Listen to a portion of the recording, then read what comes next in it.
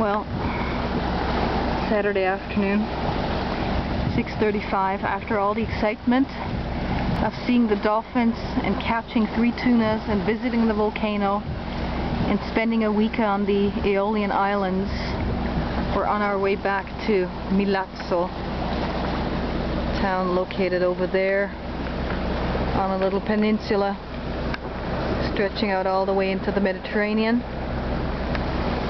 Now have about three more days of discovery left. Here's the uh, church up on the hill. Can't remember what it's called. Santa Maria del Tindari or something like that.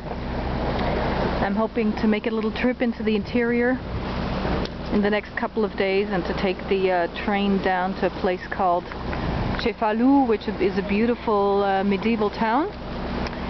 And then on Wednesday, back to Toronto.